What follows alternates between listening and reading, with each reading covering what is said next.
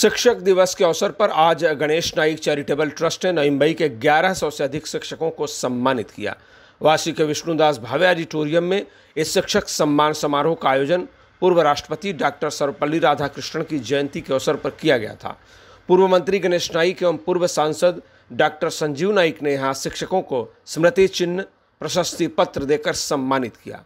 कार्यक्रम में पूर्व महापौर जयवंत सुतार, पूर्व महापौर सुधाकर सोनावने सागर नाइक बीजेपी जिलाध्यक्ष संदीप नाइक पूर्व जिलाध्यक्ष रामचंद्र घरत, हिंदी भाषी नेता राजेश राय, वरिष्ठ शिक्षक ई ए पाटिल समेत सैकड़ों शिक्षक और छात्र मौजूद थे।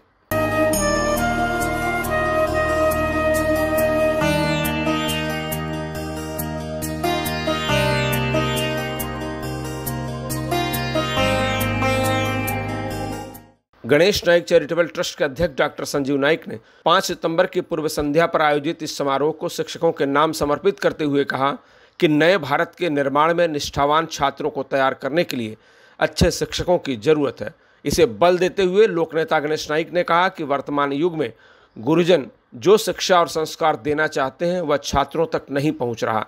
उन्होंने कहा कि बदलते दौर में शैक्षिक व्यवस्था में बदलाव की भी ज़रूरत है। पूर्व मंत्री गणेश नाइक ने कहा कि शिक्षक को इंसान बनाते हैं जिससे देश बनता है शिक्षक राष्ट्र और समाज के सच्चे निर्माता हैं इसलिए हमें गुरुजनों के योगदान को याद रखना चाहिए आपल्या देशामध्ये सर्वपल्ली राधाकृष्णने आपले पूर्वीचे राष्ट्रपती यांच्या जन्मदिवशी आपण शिक्षकांचा सन्मान करतो आणि ती परंपरा सुरू. साधारणपणे या ठिकाणी एकोणीसशे पन्नास साली शाळा सुरू झाल्या परंतु साधारणपणे सत्तर सालापासून सिडको आली तशी या शहराला आकार येत राहिला. सत्तर आणि तीस दोन हजार आणि नंतरची वीस साधारणपणे आज बावन्न वर्षाचा कालखंड गेला. या शहरामध्ये टप्प्याटप्प्यानं संस्कार दिले गेले शिक्षण दिले गेलं. पहिल्यांदा मराठी नंतर हिंदी आलं नंतर उर्दू आलं इंग्रजी आलं. महाराष्ट्रातल्या इतर संस्था आल्या भारतातल्या इतर राज्यातल्या संस्था आल्या आणि आज नवी मुंबई एक शिक्षणाचा हब झाला भविष्यकाळामध्ये नवी मुंबईचं महत्त्व आनंद साधारण मी विनम्रपणे सांगतो मी या शहराच्या लोकप्रतिनिधी म्हणजे त्यांचा मार्गदर्शक म्हणून होतो. परंतु या नवी मुंबईतल्या म्हणजे प्रामुख्यानं ज्या पक्षामध्ये मी राहिलो त्या पक्षाच्या लोकांचं कायमचं योगदान राहिलेलं आहे. परंतु अन्य पक्षाच्या लोकांनी सुद्धा त्या ठिकाणी या शहराचा विकास होण्याकरता निश्चितपणे चांगलं काम केलं. खरं म्हणजे एकेकाली ते एक शिक्षण मंडळ होतं. उद्योगपती राम विचारे त्या शिक्षण मंडळाचे सभापती राहिले. ए. पाटील सर स्वतः शिक्षण मंडळाचे आपले महापौर सुधाकरजी सोनावणे सुद्धा त्या शिक्षण मंडळाचे त्या पद्धतीनं त्या लोकांनी विद्यार्थी घडवले. शिक्षकांना मान सन्मान शिक्षकांच्या जीवनामध्ये विद्यार्थ्यांना शिस्त नाही तर शिक्षकाने शिस्त पाला पालन करावे. अशा प्रकारचं वातावरण म्हणजे राम विचारे ए. पाटील सर यांनी निर्माण केलं. त्याची परिणिती आज नवी मुंबई महानगरपालिका क्षेत्राला पट वाढता चाललेली आहे. नवी मुंबई शा महापालिकेच्या माध्यमातून जे शिक्षण दिलं जातं ते अतिशय एकूण एक त्याला मान्यताप्राप्त शिक्षण आहे. नुसतं शिक्षण पुस्तकी नाही. क्रीडा क्षेत्रामध्ये नवी शाळा पुढे आहेत खाजगी शाळासुद्धा पुढे. आणि एकूणच नवी मुंबईचं वातावरण लक्षात घेता या शिक्षकांचे ऋण आहे. हे श- हे शहर मोठं करण्याकरता. हे ऋण व्यक्त करण्याकरता त्यांना निश्चितपणे जाणीव करून देण्याकरता की बाबा तुमच्यामुळे हे शहर पुढं मोठं होणार आहे.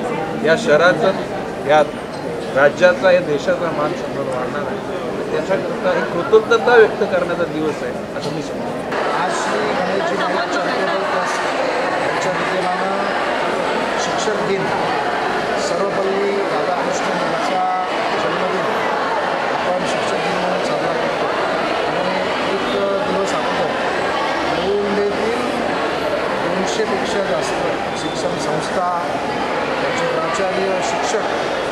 besar ada.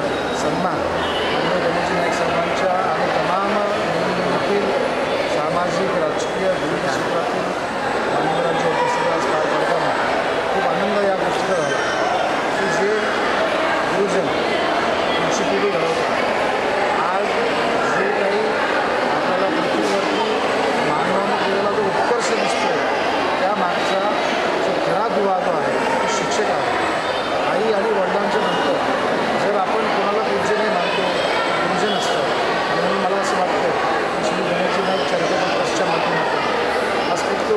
बोलताना संदीपजी नाईक असतील सागरजी नाईक असतील आमच्या ट्रस्टचे सर्व पदाधिकारी असतील यांनी यावेळेस हा संकल्प घेतला की आपल्या मुंबई शहरातील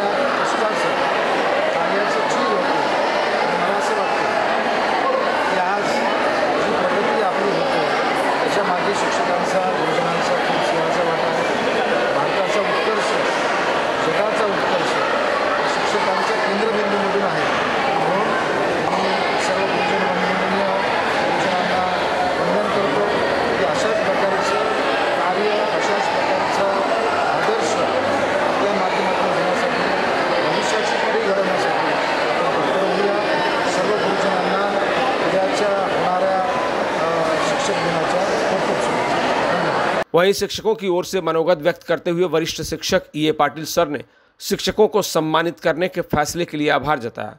उन्होंने कहा कि जो शिक्षक राष्ट्र निर्माण करते हैं, उन्हें समाज में उपेक्षित रखा जाता है। हालाँकि उन्होंने यह भी कहा कि शिक्षक बनना सौभाग्य से होता है, इसलिए चुनौतियों के बावजूद यह पुण्य करते रहना चाहिए। उन्होंने कहा कि लोकनेता गणेश नाइक के दूरदर्शी राजनीति के चलते नई मुंबई में शैक्षणिक माहौल विकसित हुआ है और इसे हमें मिलकर बचाए रखना है। शिक्षकांचं कार्य हे फार महत्त्वाचं आहे. कर्म करताना शिक्षक जे ज्ञान देतात हे अतिशय महत्त्वाचं आहे. असं म्हटलं जातं का अन्नदानम श्रेष्ठ ज्ञानम विद्यादानम तथा परम अन्नेन क्षणिका तृप्ती. यावत जीवच विद्या. जे आहे ज्ञानदान करतो ना हे फार श्रेष्ठ आहे. अन्नदान सर्वात श्रेष्ठ आहे असं म्हटलं जातं. पण अन्नदानापेक्षा ज्ञानदान श्रेष्ठ आहे. तर हा सन्मान दुसऱ्या कोणाला प्राप्त होत नाही. म्हणून मी नेहमी शिक्षकांना सांगत असतो का शिक्षण शिक्षकाचा पेशा हा नशिबाने मिळतो सगळ्यांच्या नशिबात नसतो. कारण ह्या शिक्षकाच्या नोकरीमध्ये कदाचित तुम्हाला मा धन कमी असेल मानधन कमी मिळत असेल पगार कमी मिळत असेल पण जो मान मिळतो आणि विद्यादानाचं जे श्रेष्ठ तुम्हाला पुण्य मिळतं ते दुसऱ्या नोकरीमध्ये मिळत नाही. दुसऱ्या दुसऱ्या नोकरीमध्ये तुम्हाला काय साहेब असाल तर मान मिळेल पगार चांगला मिळेल पण विद्यादानाचं जे पुण्य आहे ते पुण्य फक्त आणि फक्त शिक्षकी पेशामध्येच मिळतं. Bureau report TV one India.